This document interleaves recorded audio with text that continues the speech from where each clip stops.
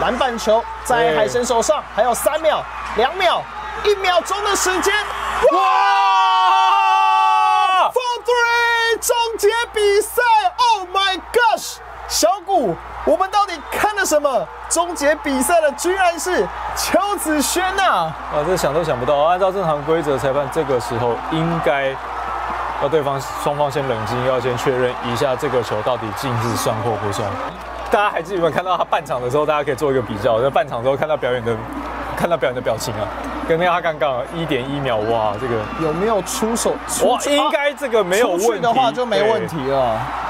哇，邱子轩是绝杀了新北中信特工啊！跟刚刚主播讲那个，我们到底看了什么？我们到底看了什么？哇，所以最后的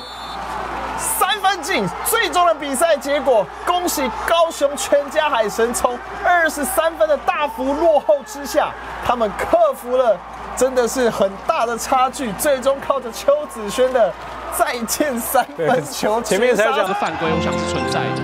蒋玉安来发边线，发进来，三分直接起了起尾，哇！哇！还有两秒钟，不敢想。台中太阳交给卢冠轩来发边线球，卢冠轩交给莱斯外线起了。哇哇哇哇哇！绝杀！我要没有声音了，绝杀！绝杀！裁判当然，呃，还是要透过艾尔先去确认一下，到底来不来得及哦。但是，哇，看这个配！天哪！哇，莱斯他看看接球棋，基本上应该是没有问题啊！哇！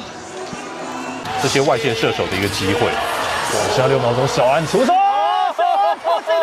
logo shot，中！好，来看一下这边线发球怎么发啊？不能够失我，查拉蒂拿到，喂，弹球抛出去，不过时间所剩不多的情况下出手，有没有？有没有？有没有？太不可思议了，蒋玉安，算不算？算不算？又从了中场出手打反进球，要看有没有算啊？太不可思议了，蒋玉安。哦，蒋玉安连续两次的出手，我前面一球就已经够夸张，但这一球又突破天际，哇！这球根本是从百万出手啊，他已经不只是 logo shot，我真的要来看一下重播，看一下这出手有没有到点了。哇！这球最后成功算进球。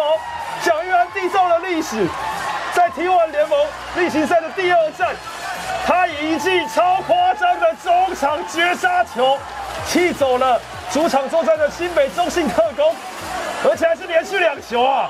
哇！